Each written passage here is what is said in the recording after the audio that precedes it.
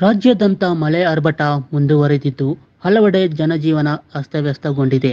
ಕರಾವಳಿ ಭಾಗದಲ್ಲಿ ಇನ್ನು ಐದು ದಿನಗಳ ಕಾಲ ಭಾರಿ ಮಳೆಯಾಗಲಿದೆ ಎಂದು ಹವಾಮಾನ ಇಲಾಖೆ ಎಚ್ಚರಿಕೆ ನೀಡಿದೆ.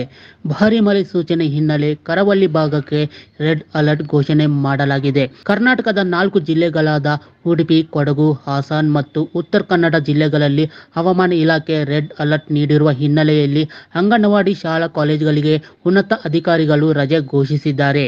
ರಾಜಧಾನಿ ಬೆಂಗಳೂರಿನಲ್ಲಿ ಇಂದು ಬೆಳಗ್ಗೆಯಿಂದಲೂ ತುಂತುರು ಮಳೆಯಾಗಿದೆ. ಇನ್ನು ಐದು ದಿನಗಳ ಬೆಂಗಳೂರಿನಲ್ಲಿ ಮೋಡ ಕವಿದ ವಾತಾವರಣ ಮುಂದುವರೆದಿದ್ದು, ಸಾಧಾರಣ ಮಳೆಯಾಗಲಿದೆ ಎಂದು ಹವಾಮಾನ ಇಲಾಖೆ ತಿಳಿಸಿದೆ. ಬೆಂಗಳೂರು ಗ್ರಾಮಾಂತರ, ಚಿಕ್ಕಬಳ್ಳಾಪುರ, ಕೋಲಾರ, ರಾಮನಗರ ಭಾಗದಲ್ಲೂ ಸಾಧಾರಣ ಮಳೆಯಾಗಲಿದೆ ಎಂದು ಹವಾಮಾನ ಇಲಾಖೆ ತಿಳಿಸಿದೆ. ಶಿವಮೊಗ್ಗ, ಚಿಕ್ಕಮಗಳೂರು ಹಾಗೂ ಕೊಡಗು ಜಿಲ್ಲೆಗೆ ಆರೆಂಜ್ ಅಲರ್ಟ್ ಘೋಷಿಸಲಾಗಿದ್ದು, ಹಾಸನ್, ಹಾವೇರಿ, ಧಾರವಾಡ, ಬೆಳಗಾವಿ ಹಾಗೂ ಕಲಬುರಗಿಗೆ ಯೆಲ್ಲೋ ಅಲರ್ಟ್ ನೀಡಲಾಗಿದೆ. ಈ ಜಿಲ್ಲೆಗಳಲ್ಲಿ ಮುಂದಿನ ಮೂರು ದಿನಗಳು ಮಳೆ ಮುಂದುವರಿಯಲಿದೆ.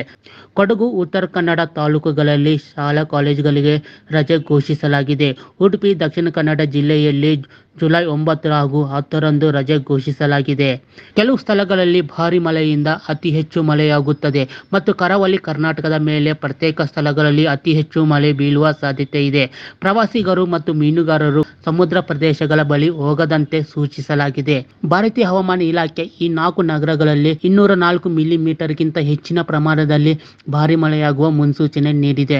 ಮುಂದಿನ ಎರಡು ದಿನಗಳಲ್ಲಿ ನೂರ ಹದಿನೈದು ಮಿಲಿಮೀಟರ್ ಮತ್ತು ಇನ್ನೂರ ನಾಲ್ಕು ಮಿಲಿಮೀಟರ್ ವರೆಗಿನ ಭಾರಿಯಿಂದ ಅತಿ ಭಾರಿ ಮಳೆಯನ್ನು ಸಹ ನಿರೀಕ್ಷಿಸಲಾಗಿದೆ.